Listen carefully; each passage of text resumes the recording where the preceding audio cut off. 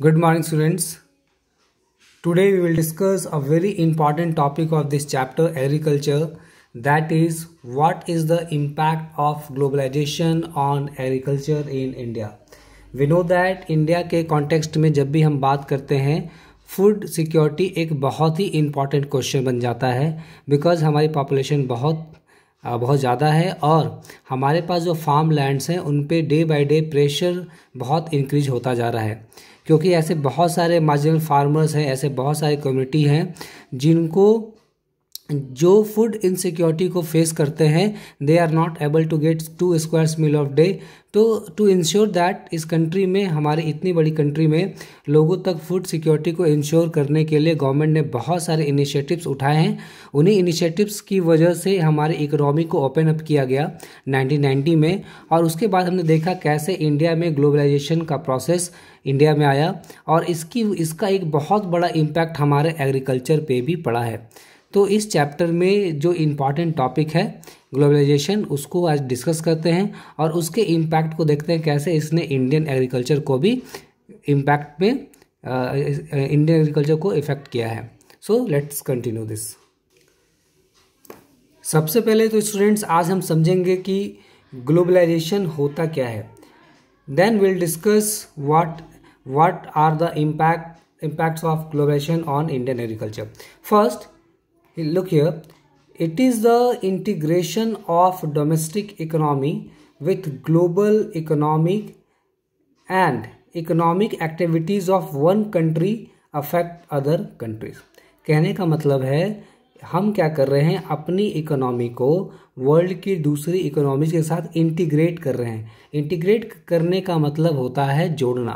जब हम अपनी इकोनॉमी को दूसरी कंट्रीज़ की इकोनॉमी के साथ जोड़ेंगे इसका मतलब हम trade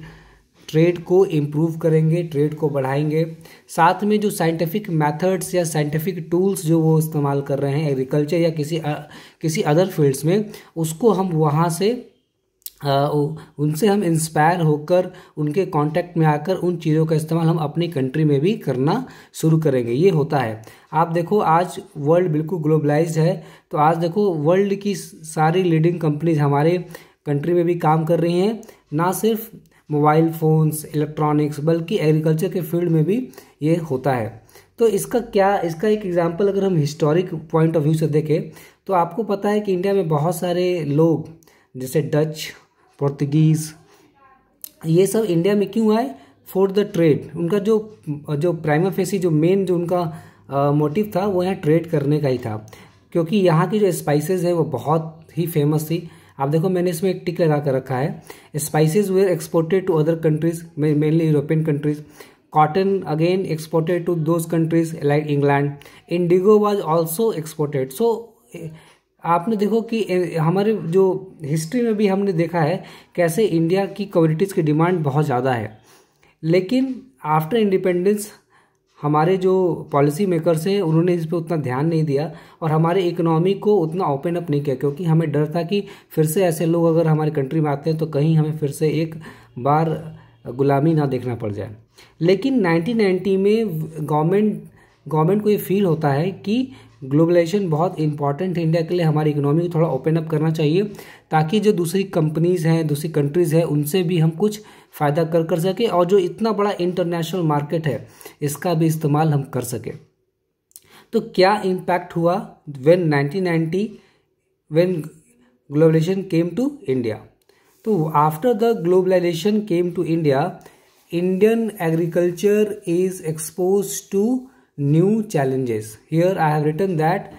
Indian agriculture is exposed to new challenges.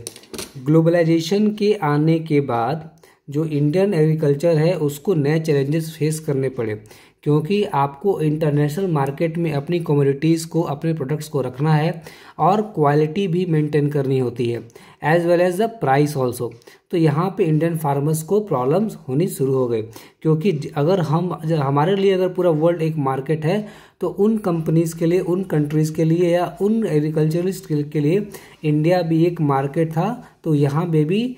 जो चीज़ों का इम्पोर्ट है, वो भी शुरू हो गया। Now India is unable to compete in global market India में देखा गया कि हमारा जो एग्रीकल्चर है, आज भी मानसून पे बहुत ज़्यादा डिपेंडेंट है। बहुत सारे ऐसे टूल्स हैं जो कन्वेंशनल है। मेथड हमारा कन्वेंशनल है साइंटिफिक मेथड नहीं इस्तेमाल हो रहे हैं बहुत सारे ऐसे पॉकेट्स हैं इंडिया में। या due to lack of money proper financing options ना होने की वजह से जो फार्मर्स है, बहुत सारे मार्जिनल फार्मर्स हैं। तो देखा जा रहा है कि इंडिया जो है इंडिया के फार्मर्स जो हैं specially in agriculture they are unable to complete they are unable to compete in global market students आपको याद होगा लास्ट वीडियो में डिस्कस किया था सब्सिडीज़ के बारे में कि सब, कोई भी कंट्री अगर सब्सिडी देती है फार्मर्स को तो अगर वो सब्सिडी कंटिन्यू इसी तरह बनी रहे तो ये हमारे जीडीपी का बहुत बड़ा हिस्सा चला जाता है सब्सिडी के इन द फॉर्म सब्सिडी, और उससे गवर्नमेंट को फ़ायदा बहुत कम होता है।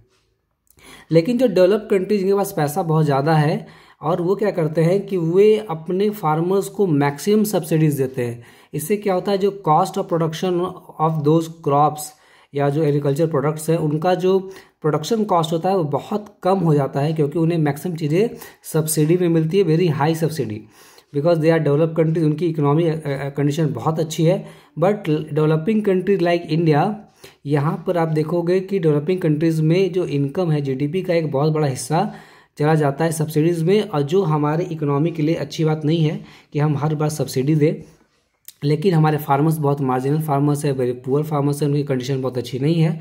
तो देखा गया है, इसकी वजह से भी जो डेवलप्ड कंट्रीज़ के जो प्रोडक्ट्स हैं, जो एग्रीकल्चर प्रोडक्ट्स हैं, जो क्रॉप्स हैं उनका रेट जो होता है, हमारे कंट्री के प्रोडक्ट से काफ़ी कम होता है, जिसकी वजह से उन्हें मार्केट बहुत इजीली अवेलेबल हो जाता है। ये भी एक प्रॉब्लम फेस करना पड़ रहा है due to globalisation when it came to India but ये एक अच्छा बट एक अच्छा अपॉर्चुनिटी भी है इंडियन फार्मर्स को कि अगर गवर्नमेंट अच्छे से ध्यान दे और उन्हें सही सही implements tools higher variety of seeds green revolution gene revolution इन सब चीज़ों को इम्प्लीमेंट करके हम अगर नेक टू नेक स्टैंड कर सकते हैं in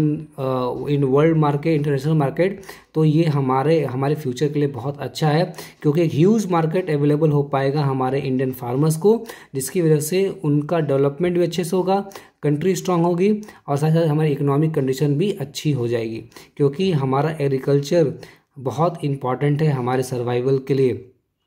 सस्टेनेबिलिटी के लिए बहुत इंपॉर्टेंट है एग्रीकल्चर का, अच्छे से डेवलप्ड होना और इसको प्रॉफिटेबल होना भी बहुत ज़्यादा ज़रूरी है। तो स्टूडेंट्स आपने देखा एक तरफ़ तो हमारे पास बहुत बड़ा मार्केट अवेलेबल है, लेकिन इंडियन एग्रीकल्चर कुछ प्रॉब्लम्स को फेस कर रहा है। that's why the topic is here that Indian agriculture is at the crossroads so there should be more initiative more endeavors by the government it there should be new thrust which is required it means agriculture को uplift करने के लिए promote करने के लिए एक बार फिर से ग्रीन रेवोल्यूशन टाइप का रेवोल्यूशन कहे या पूरे पूरे एनर्जी के साथ गवर्नमेंट को काम करना चाहिए। And they should try to make it profitable अगर फार्मर्स को ये प्रॉफिटेबल नहीं होगा तो जो हमारी फ़ार्मिंग एक्टिविटीज़ है कंट्री में धीरे धीरे वो कम हो जाएगी ब्लिक होते चली जाएँगी। So new thrust is needed it should be made profitable these all points will be very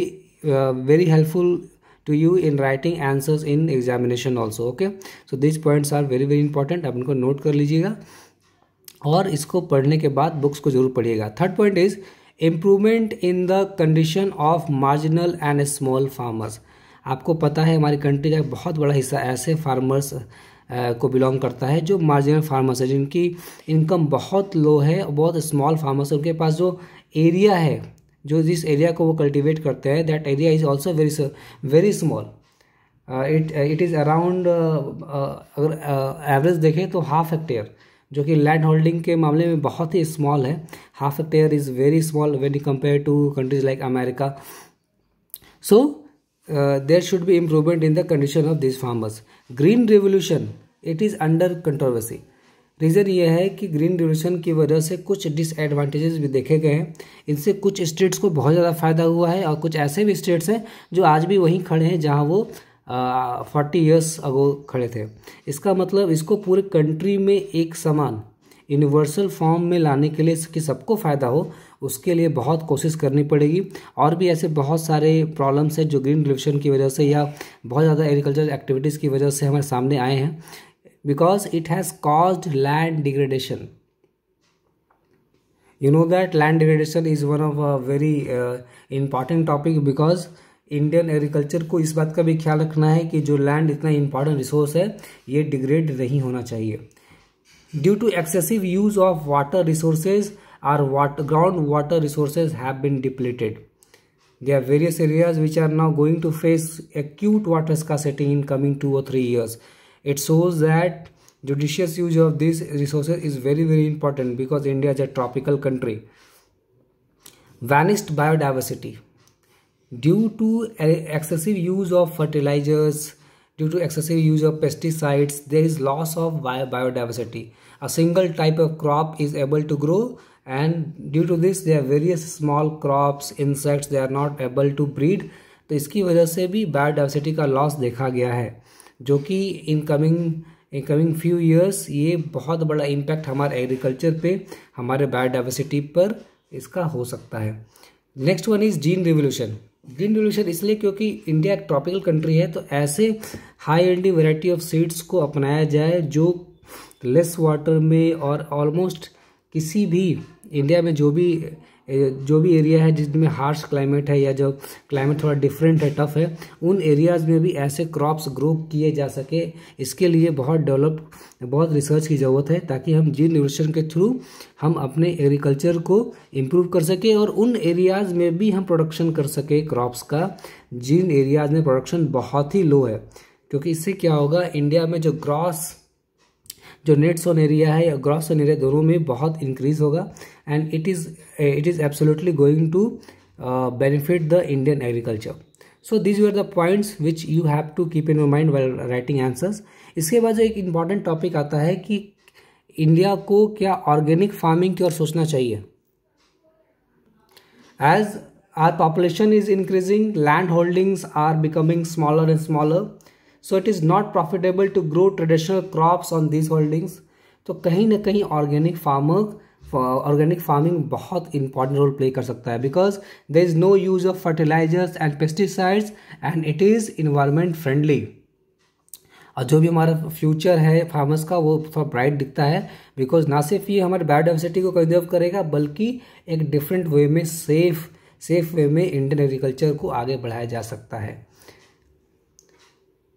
Now last topic that I have written here, why there is need to diversify